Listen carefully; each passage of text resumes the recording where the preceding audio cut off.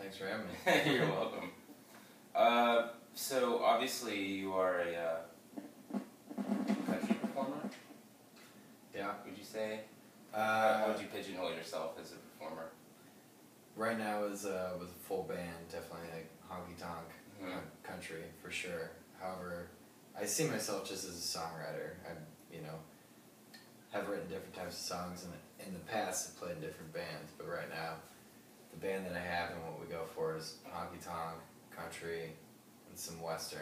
But I also write a lot of like country folk or just folk songs as well, and uh, like to always, you know, next album and stuff. I always like have a new vision, and we just I see myself at the end of the day of more just a songwriter. Songwriter. Do you have like books and books of songs that you haven't written, or just re- read the ideas, or is it more like? Uh, yeah, well, at- some people are like one at a time. yeah, There's very few, and then some people have like 400 songs, and they're all these like scraps of ideas that, you know, what, what are, you, are you both, or what do you, you know, what's your, yeah. I've I've definitely more one at a time kind of guy. That's how I've been for years. Uh, as time's gone on and uh, evolved more as a songwriter, I definitely get different ideas and hate to say it, but I like put them in my notepad on my iPhone. mm-hmm. like write down ideas and then like even lyric or just concept ideas and like themes and stuff to go with a song idea I already have written down. Uh, but typically it's one song at a time, and however long that takes, that's where I try to keep my mind. If it takes one night, if it takes three months, like just trying to focus on that to like get it done, dot the i's, and move on to the next. How do you determine if a song's like good enough to go into the studio and record? I try to keep it that if I'm gonna write a song, it's going on the next Okay. record. Yeah. Um, So you're not wasting any time. yeah.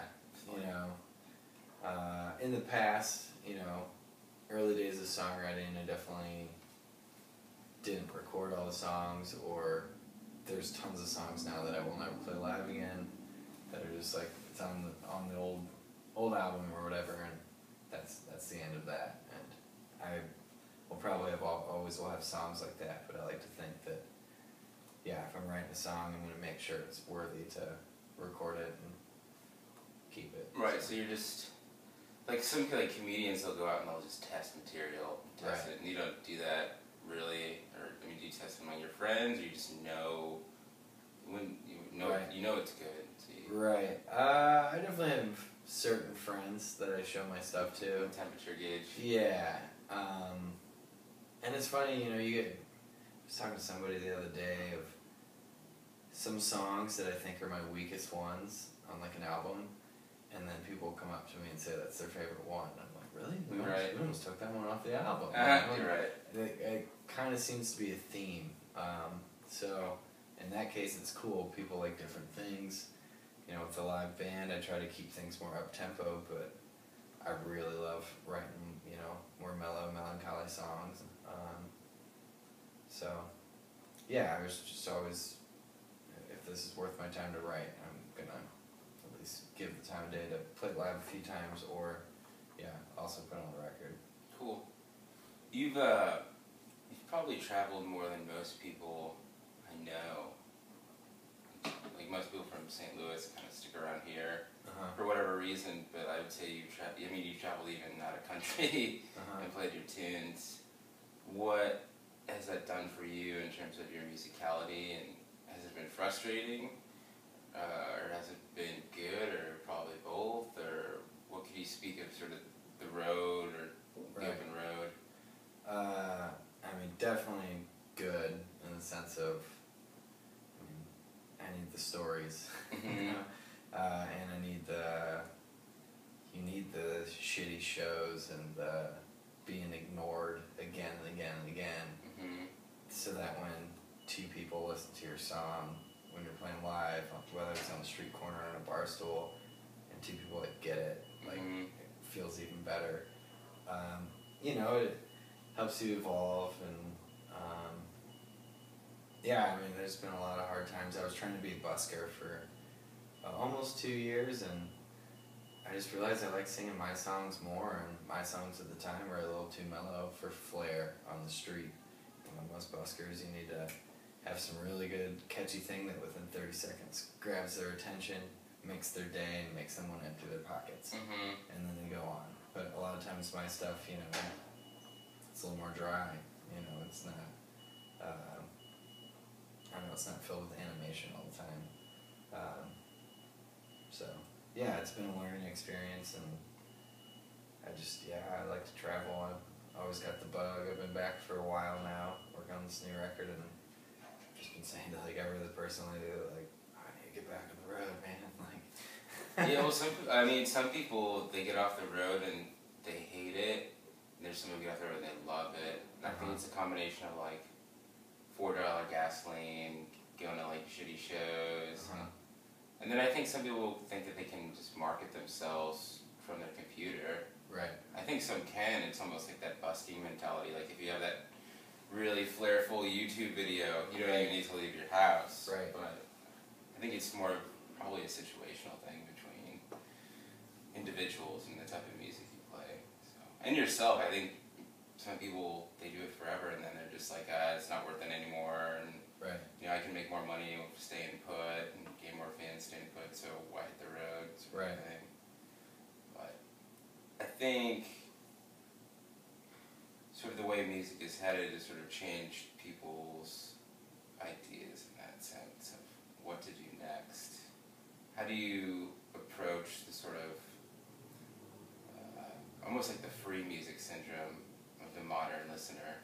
Uh-huh. I mean, do you really care, or you're just like I'm making records and Yeah. hell with everything else, sort of thing? And You're asking for like as far as like free music that people are like ripping off the internet. Yeah, I mean, what, what do you, you know, how do you sort of think about that as an artist, and how does that affect your art, or do you just don't care? You know, I mean, we grew up. You know, I remember when I downloaded Napster. You know, in like middle school, and like how that like changed my world, and how that, and downloading music for years, and I mean, I don't really do that anymore. More out of like laziness. Mhm. Um, but uh, exposed me to so much more and found more roots music, underground music, as opposed to what was on the radio. Um, so I've kind of like, I mean, as a musician and artist, that was always there before I even really started mhm. putting music out there. So I'm, I'm, I'm as far as my digital stuff, I'm kind of like, you know, people want to buy it on iTunes, that's cool, but like, I think Spotify is a pretty cool thing.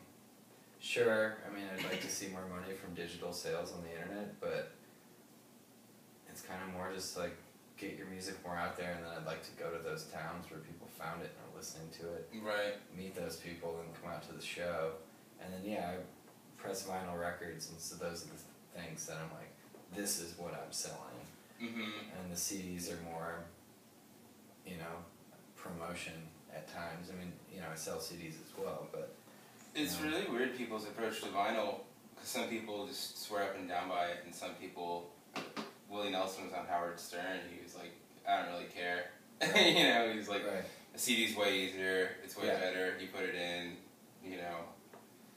It doesn't really scratch as, you know, easily, and so it's just, it's it's weird how vinyl is actually making a resurgence when the rest of the music industry is like kind of tanking. Right, so, right. Do you uh, will you put all your stuff out on vinyl? Do you think for the rest of your life? I go back and forth. You know, we're putting this It's way more expensive too. so much more expensive. Uh, you know, actually like talked to the record pressing plant or one of them today on the phone. You know, I'm like getting this process going for this new record, and I've gone back and forth with this one just because it's, it's I save all this money and put out the record, and then that's like pretty much all my money. so it's like, okay, now I have to like tour and get rid of this record to make this money back. Um, but you know, I mean, I just I was in Columbia this past weekend and bought you know four records, and I would right before you came, I was listening to this Doug Sahm record, and he, I feel like more so than a CD, you put on a vinyl record, and it, it has an ambience of its own. Each one like just gives off this vibe that's unique, and maybe not every music listener gets that, but I know I do. Mm-hmm. Um, and I'm not. I mean, you can see all my records right there. I'm not a huge record collector because I just don't like accumulating too much stuff. Mm-hmm. Um, but there's just something about it, and I like the idea that maybe one day some some kid's gonna find it in a thrift store, makes me really happy. Right. You know, as opposed to a CD, like God knows. who knows? Those would go in the trash way before someone threw Right. the records. I think it's cool because, like, if you look at sort of the history of the way people listen to music, vinyl's always stuck around. Where Mhm. you know, CD. I think the CD format will eventually just be gone altogether, and it'll just be the USB or go on your phone. Right. Do you, when you're mastering stuff, do you think about, oh, it's gonna sound better on a phone this way, so I'm gonna mix it this way? No. No? no, I just try to get it, you know, I mean, through the mixing process, I listen to. I guess, yeah, I listen on my phone through my iPhone a little bit, I guess, but through di- different mediums and just try to find the most consistent, good sound through the mixing, and then send it to the mastering with fingers crossed, and um, Mhm. you know, hope it comes back with the best. And um, yeah, I mean, I'm just also just not that tech savvy or have that good of an ear in the sense too of like this is what phones and this, this and that. So it's all a learning process. How do you find people that you trust with their music? Uh, do you just use With mastering or No, just in general, recording you, or you know, do you trust only a few people, or do you, are you willing to like take a chance at somebody that somebody recommends? Right. Um, I definitely take a chance. I definitely put my ear to the ground.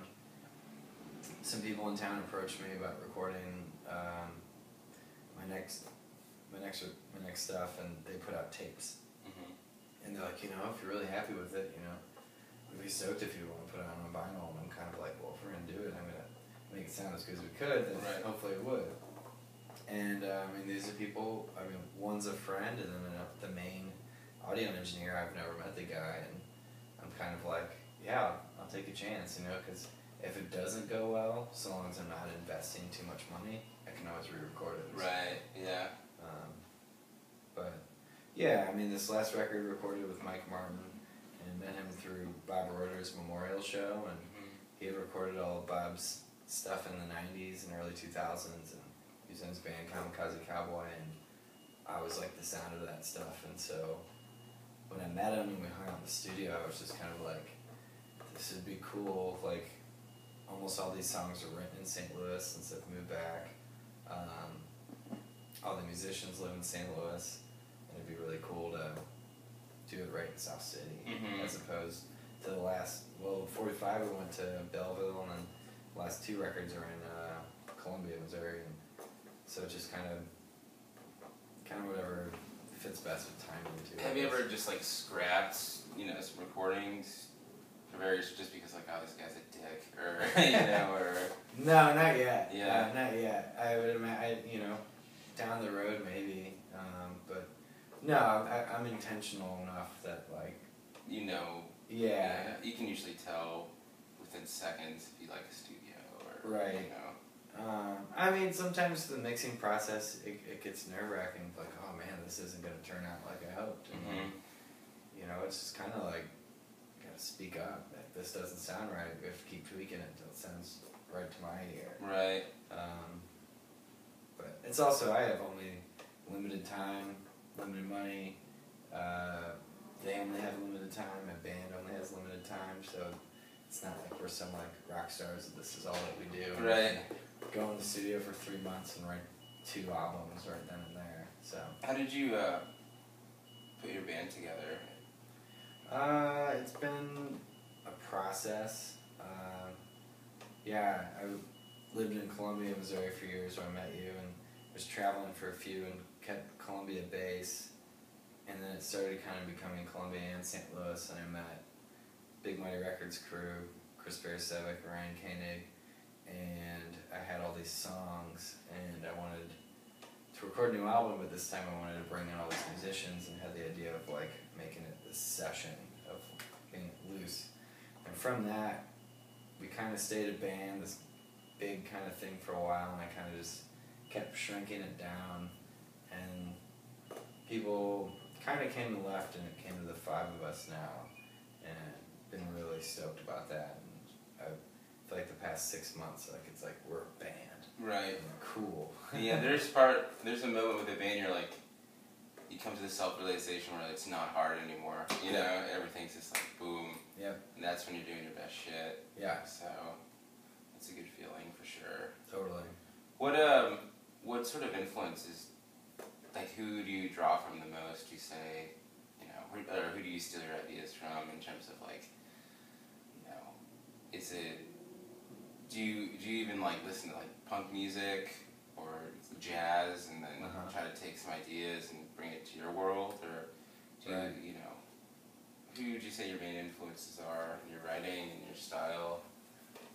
I, I jump around a little bit. Um, you know, consistently when I turn on Townes Van Zandt, it's just like some like, you know, sonic, like overwhelmingness of influence, inspiration, and heartache that feels so good at the same time. Yeah. Uh, and I mean, yeah, I, going out to punk shows and stuff can really inspire me, and I can take something from bands, and same with listening to jazz bands and just like instrumentation and execution. Uh, but I, you know, I like songwriters, and we're just really into a lot of just '70s Texas stuff, and like late '60s Bakersfield stuff. So I mean, for the full band, I really think about Buck Owens a lot, Merle Haggard. But then with my songwriting, yeah, like Townes Van Zandt, and uh, I really like Jimmie Dale Gilmore and the Flatlanders. Um, lately, I've been listening to Doug Sahm. We get more into like southwestern country, kind of almost like border music. Um, and so yeah, it's kind of kind of all over the board. I mean, also just my friends, you know, my Mhm. friend, that sometimes gets me more than anything. Somebody I know and I know their story and know what, exactly what they're singing about and they put it into words beautifully. It's like, Yeah. wow, like cool. That emotional sort of connection, uh, it draws like so, it means so much. I was just, like, I was listening to Dave Grohl talk about a record, and he was like, "There's a story behind this record, and once people know the story, these songs mean so much more to them Right, than if you just put it in and sort of just listen to it." totally. Yeah. I mean, that's that's true too. Just like some how some local bands sometimes are popular in their own town, but like people don't get it from other towns. Mm-hmm. And I think it's sometimes with people just knowing those people and understanding their art more um, by knowing them, you know. Um, sometimes it's just a, a communal thing, you know. It's not just the songwriter, the painter, or the band. It's everybody around them in the community sometimes that makes it what it is. And you're, you know, complete outsider to it, sometimes people don't don't necessarily understand it. Mm-hmm. There's something to be said about that, something not to be said. But, What do you think the differences are between the Columbia and St. Louis community? Uh, Columbia is just tight knit. I mean, everything's so accessible. You know where everything's at. I mean, it's hard to like, like when we had it, the hair hole Columbia, the DIY space. I mean, it was not that long until people that we didn't know knew about it. It's, it wasn't that big, but St. Louis is so many pockets and a little bit of everything is what I tell people. And some circles just really don't overlap here. Um, but it's also not that big of a city too that it's not that hard to find out what's going on. But there's still endless musicians in this town that I don't know. There really is, and I mean, it's it's weird. Like KDH seems KDHX seems to tie most of it together Right. pretty well, but you'll go even if you went to St. Charles, you're like, what's going on here is a completely different scene, and you know, even if you go further out to some of the more winery things, you're like, these dudes are doing pretty well out here, and nobody knows who they are, and they're Right. just playing covers, and you know, it's just it's sort of this weird. Uh, I don't know if I would call it hidden gem, but there are so many musicians here that are way more talented at than I think people realize. Yep. And it's because it's cheap to live here, and you can actually gig a lot and play out a lot. Um, now making the money or in the notoriety, that's totally different. Right. You know, it's you. I was talking to one guy, and he's like, I think some of the members of Wilco are originally from St. Louis, but Mhm. they say they're from Chicago. Mhm. And he's like, St. Louis needs all the rock stars it can get. You know, um, like obviously we had Pokey LaFarge come out in the past couple of years, Uh-huh. other than like story of the year Nelly, um, I don't know. I don't. I can't really. Can't really recall anybody else that's like, yeah, I'm from St. Louis, and there's a couple people that were born in St. Louis Right. that you know now tour the world, but they're not like, yeah, I'm from St. Louis. Right. So I don't know. It's this weird city where it's like there's a ton of talent, but it goes a little unnoticed sometimes. And why, why do you think that? Do you think it's just because we're stuck in the Midwest, or do you think it's just we're not big enough, or Uh, that's most of the country, from my experience. You know, um, it it's only really those like few cities that where everybody moves to that then it's where the business is. You know, like playing country music um, and learning the business slowly. So much of the business does go through Nashville whether or not those bands or artists go to Nashville, but maybe if they have a manager, that's where their manager works out of, or that's where they go to record, or that's you know where this big convention goes on that all this networking and you know if you play psychedelic music or something, Chicago or the Northwest, you know like Seattle or Portland are big hubs and stuff, and uh, you know it's I feel like most of the country is like St. Louis in the sense of yeah, what what what's come out of there? Oh, I don't Mhm. know. But then it's like you go to New York City and then you like meet Yeah, these bands and you're like, oh wait, you're from St. Louis? You're from St. Louis? Yeah. Oh, but you guys are from New York. New York? Yeah, So it's kind of cooler to say oh, I'm from New York or I'm from LA. you know, in some people's eyes. Yeah, no, I, I think it is. So, you know, it's just it's just weird. I mean, what people ask me, it's like, oh, you play music, and you know, why didn't you move to New York or LA? And it's like, I don't think you understand. It's like, I don't want to pay a thousand dollars to play a gig and pay a thousand dollars to live in a shoebox. Yeah. So, is that sort of why you haven't ventured out, or just you know from traveling the world, you just know it? I mean, it's pretty good here, so why would you move, or have you thought about it, or? Yeah, I mean, I've, yeah, I went from high school to Columbia, and then from there, like, traveled around and came back to St. Louis. I mean, my family's here, and got to know it more and more, and really learned the charm of it by coming back in glimpses and seeing the rest of the country, and really learned what is like so great and unique about it, how much history and soul there is to it that made me and made me still like extremely proud. Um, you know, I, I spent jaunts in New York City, and I love it there, but it was just like, man, I have to be like hustling all the time, and like, um, the Northwest is beautiful, but like a lot of those places, it's just oversaturated. Mm-hmm. You know, like it's uh, I don't know, not as many. And I mean, don't get me wrong, I love those places. I pretty much like everywhere I go. Right. But I, I, I want to go to a place that I don't know. I can do my thing and I don't know, have genuine conversation or genuine interactions and and stuff, and less less schmoozing. You know, a lot, a lot of times those places, it's like it's Yeah, bullshit, you're, you're net, networking, And- pushing your CD on people that Yeah. sometimes don't want it. And, all kinds of stuff. I mean, people, yeah. I don't know. St. Louis is just it's an honest, authentic city, mm-hmm. and and it's not a ton of transplants. You know, most. Oh, yeah, most people here are from here. Yeah, I mean, here for a long time. If you play the same clubs or even if you gig out a lot in St. Louis, I'd say within two years you'll know virtually almost everybody in sort of like a tight knit circle. Like it, you know, you'll know who someone like Tommy Halloran is. You'll Right. know, you know, Susie Q or Cree Rider or Ryan Scriven, just because you know they're doing stuff for the radio station, they're doing stuff for clubs, and Right. so it's it's pretty. It's almost in a weird way, it's almost easier to live in a city like this because people get to know you a little bit better. Right. Do you uh, do you ever pay attention to sort of the oh I guess the pop music industry at all, or does that really affect you at all, or you know, Uh, is what mean- like Kesh is doing, or you know, do you analyze that and you're like, oh, how could I turn this into my marketing strategy, or is it just sort of a different, different world? And Yeah, just different world. I like cut it out of my life so long ago. Yeah. Like that, like I don't even know like what's going on.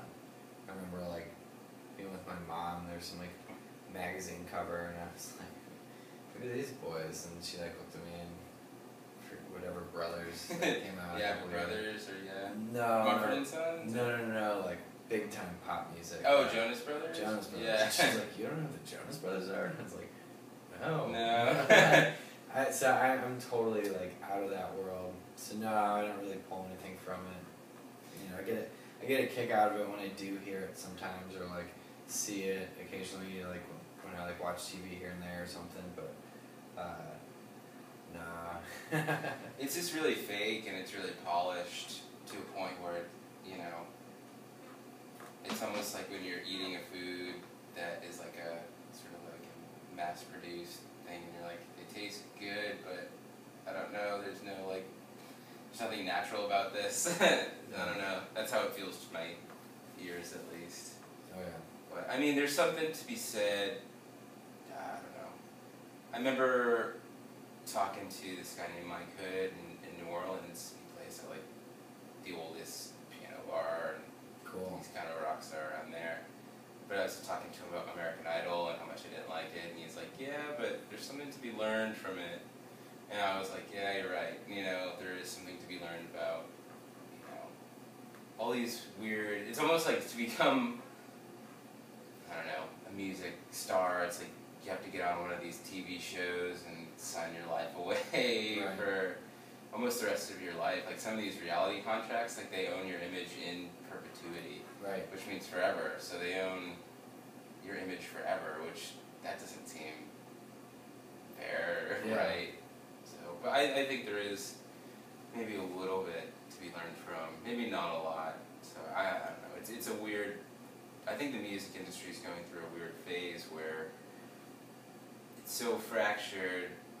There's not a lot of people to fight for the rights of even the mid-level range guy anymore. You Right. know, the big, big stars will always get you know a lawyer to take shit down off YouTube that isn't supposed to be there. But you know, for just a random Joe like you or I, nothing's to stop like you know, like a big bad wolf who wants to trample over us. Right. know.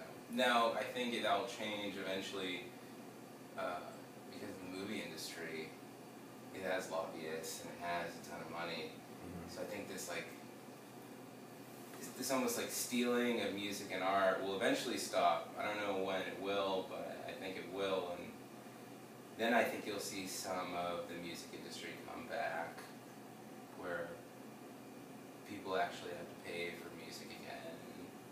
Know, I think when people pay for music now, it's definitely more because they want to support the people who are doing it, rather than Right. you know, they're like, here, here's ten bucks, and I want you to keep doing it, Yeah. rather than like, um, I'm, I want to buy your CD for twenty bucks. Right. That was when I was growing up. I remember buying like a Beastie Boys cassette for twenty bucks. Whoa. You know, and, and that was like the height of the music industry's like Uh huh. Sort of raping and pillaging of the masses, and that's sort of why Napster was created. Right. But I think one day it'll come back. It's just in a really weird place right now. Maybe it will never come back. I don't know. Yeah. So, do, do you ever think about, you know, what you would do one day if people just expect all their music to be free? I mean, do you think people just drop out of it, or is, do you think it would be just Um, too hard, or? People wouldn't drop out of it. I mean, just playing in the DIY scene and punk and stuff for so long. That I think that's like a prime example of people feeling like I don't do this necessarily to make money. Mm-hmm. I do this because this is like a celebration or an expression or just like something that I have to, or just distraction, like something that like, yeah, you know, like I, I work, you know, six days a week or whatever, or don't work at all, you know, and th- this is what I do in my free time to have fun, you know, with my friends, or I don't know. I mean, you were, you're, I, I emailed a DJ the other day, um, it was like a roots country DJ out of Cincinnati, and he like hit me up and was like, yeah, I wanna, you know, I wanna buy this, and I was like, oh man, I like, send that to you, you know, like you're gonna play it. And he's like, no, I buy my music from the artist. I wanna support it. And I was just like, right on, cool, thanks, man. Like, appreciate that. Mhm. Uh, so you know, and also in the first, not not to bring it all back to vinyl or anything, but the company that I've gone through pressing records before uh, has doubled their wait time because their business has increased so much that more and more people are pressing vinyl. They now had to go to a different different business, like more like a mom and pop business. Wow. Because the wait was four months, and Holy like shit. in my mind it was like two months is pretty much standard. You know, I got, you know, I got to dot my eyes, and I was like, kind of had a freak out of like, oh my god, what am I gonna do? So, you know, we'll we'll see we'll see what happens. But live music also is just something that will never go away. You know, I mean, I don't I don't make music just so I can re- record it. I, I make it so I can play it. Mm-hmm. Do you uh do you try to record stuff and put it on YouTube or I what's really weird is like there's almost this I don't know what I would call it, but it's a person, they sit down in front of a webcam and then they play a song Right. and some people get a lot of attention from it. Uh, Most of them don't. Right. Uh, seems like the people that do really well is the people that make like a, a really catchy video or a really smart video. Uh-huh. Have you tried to do any of that or? I haven't. Um, videos is one thing I haven't really delved into at all. and I've kind of just like been like, people film it live. That's what happens. It goes on YouTube. Cool. But more and more, I've realized it's important to have. If people specifically booking folks are going to take you seriously, you need at least one or two high quality videos. Right. So actually, this past weekend we did like an intentional like live video. You know, not like a classic MTV music video, but just us playing live, somebody else recording the audio, and then it's all gonna be cut and stuff, and be just like a a clean quality.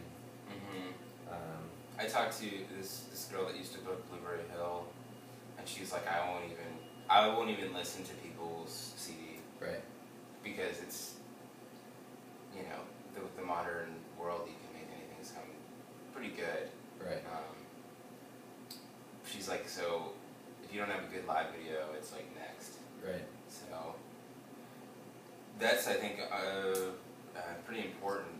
But then it's like you're a musician, not a film director. Right. So how do you? It's like how do you parry this skill, and then you just need help from your friends. I think. Yeah. You know, and there's people to do it that won't do it.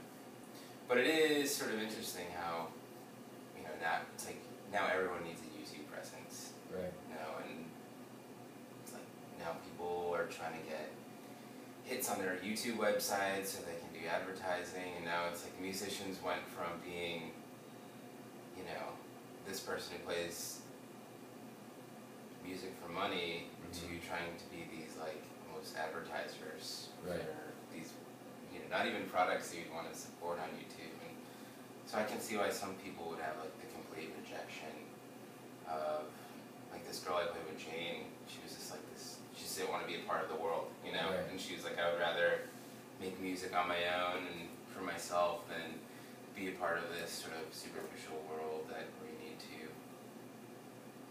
you know, gain Facebook likes there's some people who are really good at it, like um, Wayne Coyne of the Flaming Lips. Uh, If you just follow his Instagram or his Twitter, you're just like this dude has like the tap on the pulse Yep. of the industry right now. You know, and he's even it's like, it's even just weird the people who he chooses to be friends with as like a celebrity or like Kesha, Miley Cyrus. It's like that dude's not dumb. You know, that Yeah. dude's marketing himself right. you know. So, uh, as sort of a as sort of a musician, how do you how do you market yourself to others? Do you think about how to push yourself on the masses through like Instagram or Facebook or? I, I mean, I was talking to Tommy Halloran and he's like, yeah, I do two hours of social networking a day. You know, and he's like, he sets up, he sets two hours a day where he just sits at a computer and does emails to clubs, Facebook, um, stuff like that. Yeah. Do you do that, or is it is Uh, that a different world for you that you kind of choose not to be a part of, or is it? I'm learning it. You know, I didn't like when I was like just me and my guitar playing like mainly just busking and I would play some gigs mainly just in Columbia. Uh, one of the owners was like, Hey, like I get it, you don't want a Facebook page, I get it, but you need it. Like if, if you wanna play my club pretty much you gotta at least have a, a Facebook link so I can post it, you know. And kind of after that, around then, I guess I was putting out an album, and I was kind of like, okay. And so I learned slowly, you know, I, I pay attention to like what posts do do better. You know, I've learned uh, posting a photo does better than a video. It seems like, unless maybe it's a video of yourself then maybe that will probably do better. But um, yeah, I'm learning it. I'm not on Instagram thinking about it. You know, I got this new record coming out. I'm trying to, I'm trying to up my game. You know, I, I'd like to be doing this more full time, and um, I don't really take that many photos though. Really, Right. so it's like, what do I do with Instagram? You know, I don't have that much to say day to day or whatever with Twitter. But um, yeah, I mean, if you're trying to be a successful artist in any capacity, you have to have some kind of thing that people can latch onto in a way. Whether it's just some kind of like branding style that you don't even have to use in the social network, but something that like people can recognize anywhere. Um, It's it's hard because it's like you start off and you're like I just want to play guitar and write songs and have people appreciate it, not be this like jack of all trades sort of like.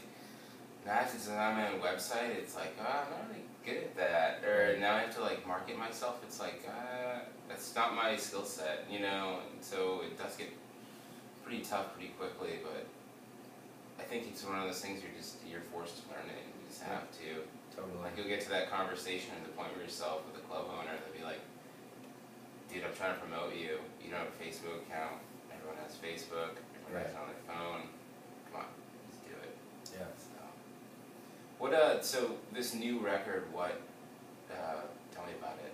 Is it different? Is it not different? Um, Different from my Yeah. past. yeah. stuff? I mean, is it an evolution or is it more the same or? Definitely an evolution. Uh, it's definitely, like I said before, I have like a band now. It's been like the five of us, and it, you know, a few times like somebody could make it we have fill in or something, but almost all of this are songs I'd written for the band that we'd been performing.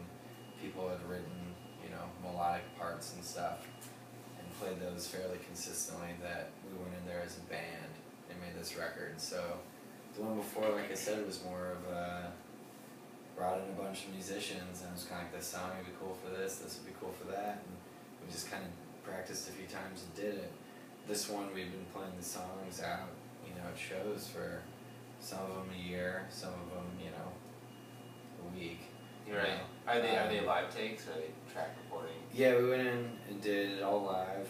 Um, you know, there's some overdubs. We redid a few solos, and then we brought in extra musicians, extra vocalists. Mhm. Um, you know, to add some sugar and spice to it. Um, That's cool because I think track recording is really easy, especially when you have like a sort of a whiz that knows what he's doing and can Right. cut and paste and.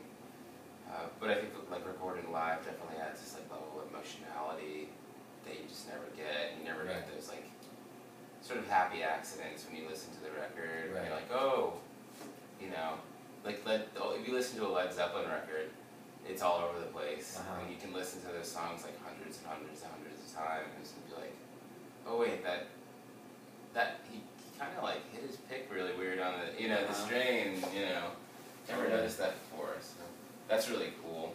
Yeah. It's one of those things where it's like if you're burning time in the studio, you gotta be really, really careful.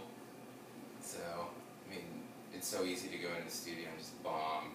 Right. So, um, I'm sure you're at a point now where I don't I worry about that. Uh, no, I still do. Yeah. you know, I mean, I'm comfortable enough that like I know it'll.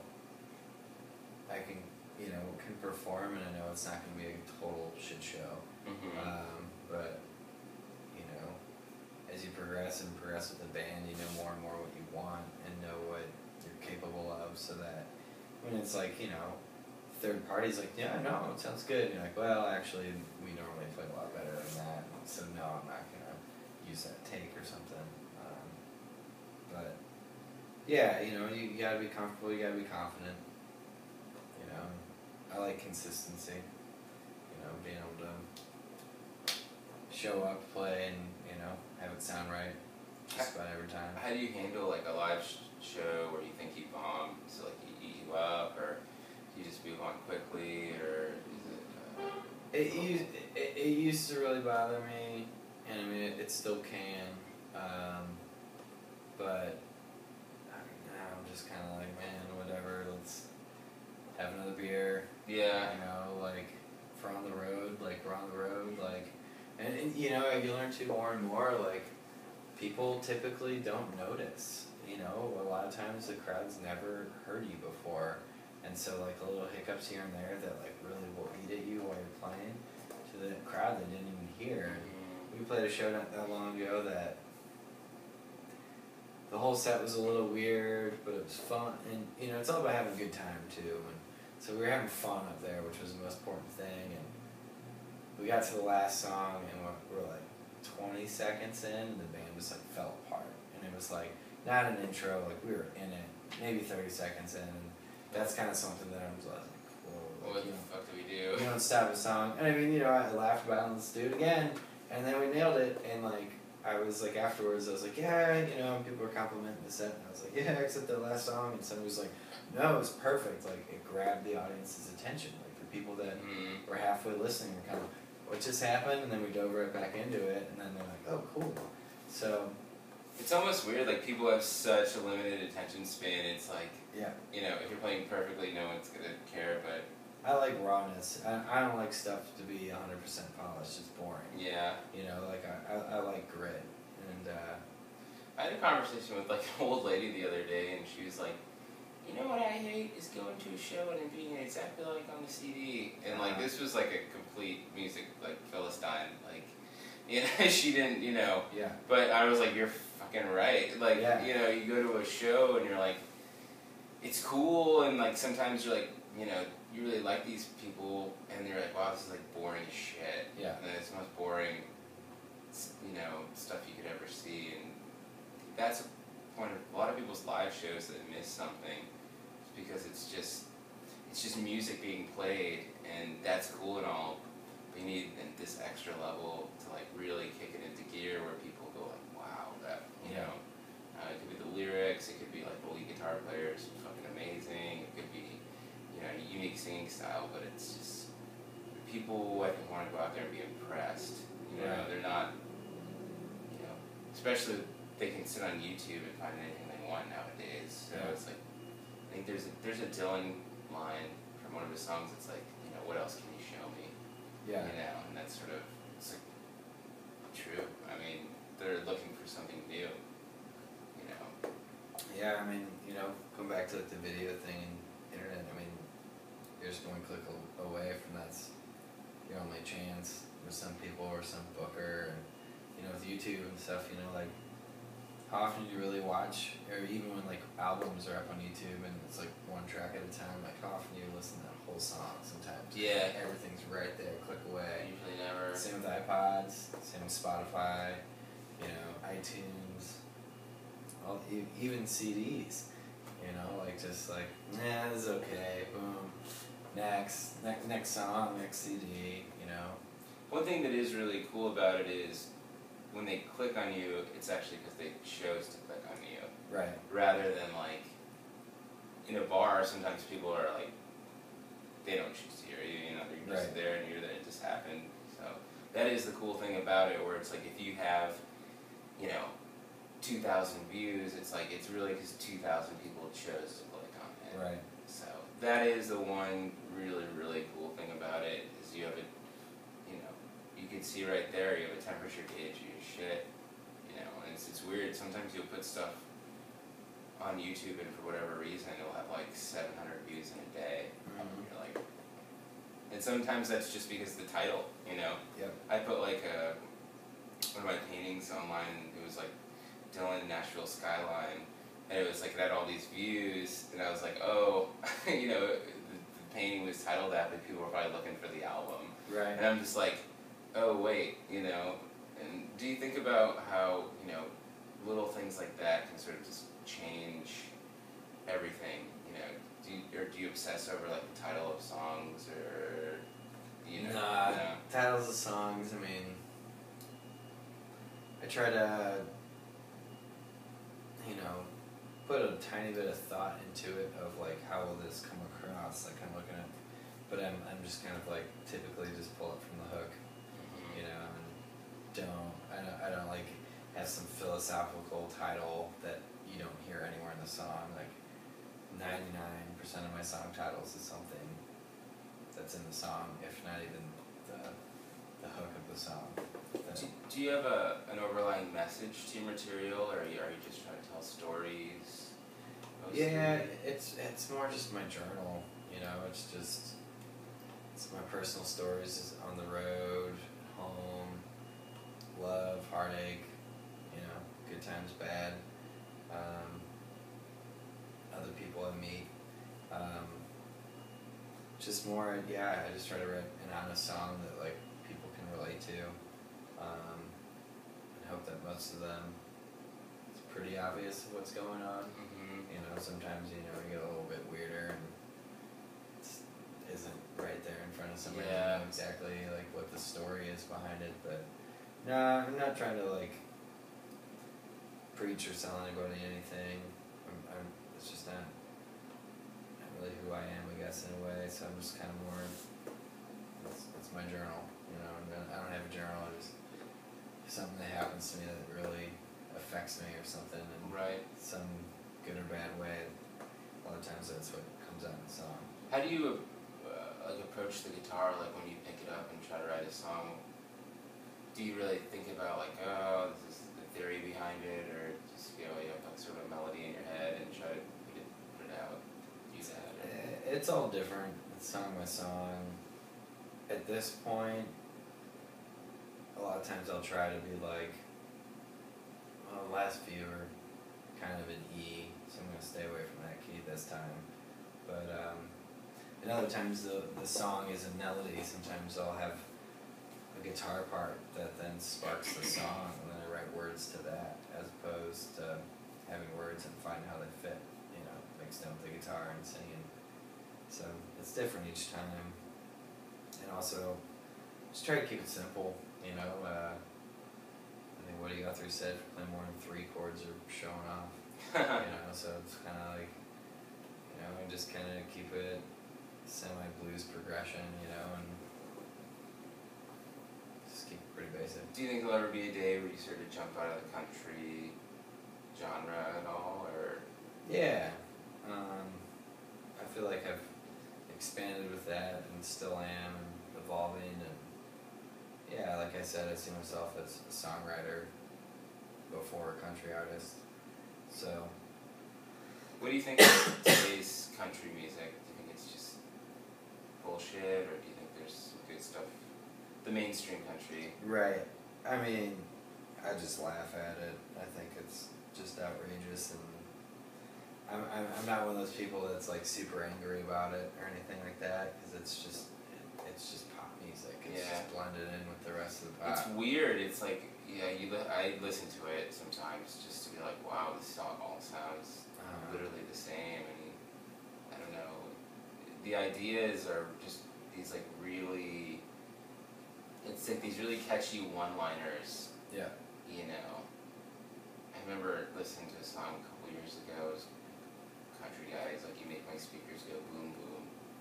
yeah You know, and it's just like, what? I don't know. It's like, how do people enjoy this? And you know, it's like one of the number one songs for a little bit. You know, it's just, it's just weird. I don't know, but I, I, I don't know. I think music's always sort of been not like the real musicians and then like the sort of pop stars, but there's always been like a bubblegum side of music that'll always be very strong for whatever reason. uh-huh. And I think today it's more pronounced because there are no like small independent record label or not as many, you know, where you send your artist on the road and they come back and yeah, you know, everyone makes money and now it's like, are you gonna make a million dollars or you know, are you gonna make three hundred million dollars? yeah Lady Gaga put out an album and it's like it had two hundred thousand units sold in the first week and it was an epic failure. uh, You know? and it's Yeah. like one of those things, it's like it's all relative, you know. totally So why don't you play a song and Sure. kind of talk about it for a little bit? Sure. Um, so yeah, I guess I'll play this tune. It's on the new record. Uh, song Leanne sang on. Oh yeah. Um, What kind of guitar is that?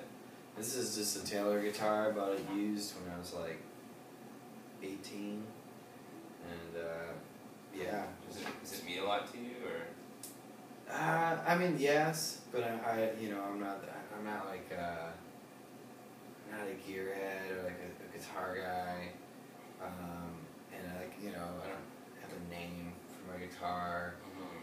A friend of mine's son the other day was like you know You gotta name your it's a girl or a boy, and I was like oh it's not that.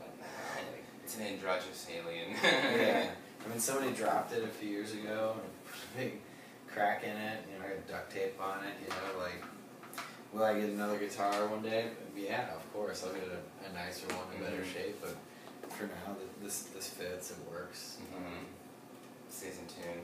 Yeah, it stays in tune pretty good. I think I need to change the strings at this point, which I'm also real slow and bad about. I never like changing my strings. I don't know. I'm just like one of those people. It's like when they break, then they're done. That's how I am. But after doing this video thing this last weekend, and we did it outside, I was sweating a lot. Oh yeah. So right- before we came in, I was playing it. I was like, "Wow, this thing is like really." That'll ruin, yeah, it'll really ruin. The, what's weird is like the St. Louis humidity and the cold like will just ruin your set. Yeah. you know, like you can be playing outside for a gig and it'd be like ninety five percent humidity, and you'll just be like, "This sucks," because you're like tuning like every three seconds, and Yeah. you know, there's all these like bum notes everywhere. I remember playing in Newtown when it was like freezing cold at this place called Beatniks. Uh-huh. And it was like literally right by the door, and every time someone walked in, it was like my guitar would go out of tune. Man. so like by the middle of the song, it was just like, "Oh, I'm so sorry, everyone." so, yeah. Well, um, how did you write this song? So this is one that was one of those ones that somebody said a line to me, and I was on my way out west, and I put it in my phone, like uh, in my notepad. So it was kind of one that I sat on for a while, and at the time I had a, a bunch of ideas. It was kind of working, you know, working on one at a time, and we we're putting out the record, and I needed, you know, at the time we had nine songs, and I wanted to be a, a shorter, precise record, um, and so it was the last song I wrote. Well, I guess I wrote one. One, I guess I wrote during it, kind of passed it up. This ended up being the final song written for the record, and. Uh, yeah, just kind of a true love story kind of thing. Um, stretching the truth uh, combining two different. One thing I like to do a lot with like kind of love and romance songs is combining both perspectives into one perspective to make it a little more interesting and just kind of more material to sing about. Um, so yeah, it's it's a traveling kind of heartache kind of song. Cool. Right. What's it called? Uh, Santa Fe. I was calling it just like Santa Fe, but I think I might just call it Santa Fe. What was the line that you had? It was just like Santa Fe. Oh, just like Santa Fe. And it might even been all over again. It's just I think it was it was just like Santa Fe all over again about me leaving. And uh, I was kind of like sometimes you I've gotten a lot of texts sometimes that I'm like they're trying like to like think of a good song because Mhm. like that I, I can hear it already. Right, yeah. So So it wrote itself. yeah, it this one took a minute, and this was one that I didn't. I, I was like, ah, it's it's okay. It would be good. Another song on the album, and then some friends of mine were kind of like, You got it. "That's the favorite song I've heard you've written in a while." Like, really? Yeah. Okay, cool. I've had so many people that I've done this uh, podcast with say that. You know, they literally say the thing that song they think is the worst is people's favorite. You know, that's to deal with people's self consciousness or if it's uh, you know, if it's just sort of one of these weird things, which you know, the material that I think musicians spend so much time thinking about something that it's like when you're not thinking, that's when you're at your best. So, Right. Anyway, Cool. just like Santa Fe. Yeah. It was just like Santa Fe all over again, I didn't stay. You didn't win.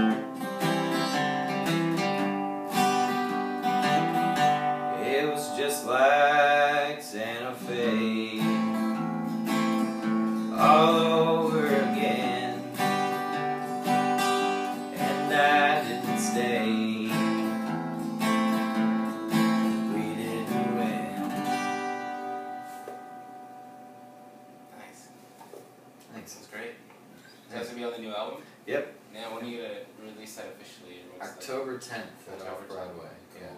So look, looking forward to it. Yeah. Cool. Who's, uh, do you have, uh, who's playing with you there? Still working on that. Still working on that? Yeah. Um, yeah, I'm trying to get the eyes dotted for getting the record out, so I know that it'll be there by then. But um, yeah, I have some ideas and put the bug out there to a few friends. Is that one of your favorite places to play off Broadway? It is. Yeah. It seems like you always do really well when you play there. It's it, it's a fun place to play. I, I really like the room, and I really like just the people that run it. They, they do it right. and They're cool and down to earth with the musicians, and uh, yeah, it's a good place. Cool. And you know the sound's always really good there too. It sounds great. Yeah. And they bring in a lot of cool bands. A lot, a lot of roots music and country goes through there, but they don't limit themselves to that either. So Yeah, it's one of those places too, which is like, it's not a, uh, not a lot of foot traffic, so you kind of have to bring, you Yeah. have to really make your, work hard to make your own show there. Yeah. So if you pack the room, it's like, dude, you knocked it out of the Right. park because, which is hard, hard to do. It's you know? really hard to It's do. a gamble if people are gonna come out. mhm, especially if the weather's whatever, you Right. know, it could be too nice, it could be too shitty, you know, it's Yeah. gotta be like just right. Yeah. and then just right now to you. I was talking to some other people about how a lot of clubs in St. Louis kind of like expect the music musicians to bring the people in, Right. you know, versus like kind of how unfair that is in a weird way. And it's like, wait a minute, man, this is your bar. You're supposed to have people here, and I'm supposed to be like the cherry on top of everything. And, Right. you know, do you, have you ever sort of had issues with club owners or like you didn't bring enough people or Oh yeah, I mean I've played so many shows where I don't, I don't get paid because the, the house fee is all that was made or wasn't even made or something. Right. Um, you know, talking to older friends of mine that play music, I mean, yeah, I used to do the opposite back in the day, that it was hundred percent to the club or there'd be promoters working for them that would that was their job and the band's job was just to show up and play. Um, today, you know, it, it, it's unfortunate that it's changed, but I think I think it's cool when both work together. You know, and like both do their part, mm-hmm. and I think that's fair. You know, like it makes sense. I mean, there's more and more bands all the time, and it used to not be like that. And so it makes sense that like you have to do some legwork to get people out. yeah i was talking to a guy who set up my guitar and he's like he hadn't played music you know since the 60s and you know he's like this guy he's he, he's gonna offer us a hundred bucks to play you know for three hours or something and he's Uh-huh. like i got paid a hundred dollars in the 70s Right. so he's like, thanks but no thanks sort of thing. So that's also another sort of roadblock, I think, uh, for the modern musician faces that a lot of clubs don't have music anymore because talked to a girl starting her own bar. I'm like, hey, you could have live music, and she's like, well, and honestly, like, turns away as many people as it brings in Huh. which is like, I think it's kind of true sometimes, but I think it's also people being lazy and not booking the right people Right. their joint. So, in a weird way, it's like anybody can record, you know, songs on their phone now Yeah. and present them and, you know, try to gig. And, and it's totally possible, but like back in the day, you needed to be like really tight, really good, and if you wanted to press a record, it was more You gotta be difficult. top notch. Yeah. Yeah, you have to, you know, from the singer to the bass player, you know, everybody on down has to hit their cues. And I'll go into a studio and I won't even be that practiced, well practiced on the song, you know, just because I know, you know, I can, I'm just doing it part by part. It doesn't, you know, which is cool because I don't, you don't need to put a ton of effort into something to make it sound good. And Uh-huh. like on the other hand, it's like, is this being watered down or, Right. you know, how much do you practice? I should practice more. Um, even in this one bedroom, uh, I, I play a lot more now. Like I have more alone time and will like see my guitar in the corner and be like, "Ah, yeah, all right, I have to play a few songs. Um, and I typically just really practice songs that are brand new or that I'm writing. Um, and then occasionally like a new cover or something. Um, and then with the band, I've tried so hard to get one one day a week with the band. Mm-hmm. I'm trying to be It's really tough. It's so tough. I mean, everybody's so busy, but you know, we do all right with that. Um, so It's tough because like all the musicians usually have these like gypsy lifestyles of like yeah I work you know weekends or I work you know this and trying to coordinate it just gets pretty and people are busy and then people start having kids and then that is like this new oh, by a certain time. So yeah, it's definitely hard. So it's, I think it's it's the coolest time to be a musician, and it's also the hardest time to be a musician. Yeah. In a weird way, you know, there's a lot of open doors and there's a lot of shut doors, and you know, I think sort of getting to the top of the mountain is a little bit more difficult than Oh, it yeah. used to be. So, uh, just sort of like one more question. I think I'd be remiss if I didn't ask it, but the beard. How long has it been since uh, you shaved or you saw it? You, you know, Uh, and also what does it sort of represent? You know, or is it just your look, or you know? I, I, it's, I mean, I think it, you know, started out probably just out of curiosity a long time ago. Um, I haven't shaved it clean years. Yeah, I'm not saying it's a bad look. You know, Yeah, yeah, God knows I have a lot of hair too, so yeah. Um, you know, it's kind of more of a thing that kind of happens. It grows fast, and I, I'm not the type that like grooms myself a lot, you know, Mhm. or anything. I wear the same clothes all the time, so it doesn't really make sense for me to be like tidying up my face all the time. Um, I think it's also like you know Jack Grelle immediately. Like you know you can see him from across the room. you know, it's like And that's unintentional. and that that's one thing that I've I've, I've dug myself into a hole because uh, people. It's one thing that strangers will come up and talk to me about it, which gets old real fast. mhm. And then it's one of those things that when I do trim it down, or even the last time I like shaved clean, my friends don't they recognize me. freak out. yeah, they don't recognize me. You know, so it's it's it's one of those kind of things. and like, wow, shit. So. Yeah, it is just kind of one of those things. It is what it is, you know. Right. Same as like having long hair or something. Right, yeah, It's kind of like, ah, it's eventually just kind of happened, you know? yeah, and you know, it's one of those things where I think some people think those things are more um, convoluted than they really are. Right. You know, they're like reading. I think when you watch somebody, there's a tendency to really judge them pretty hard and Oh, sort yeah. of unfairly. oh, yeah.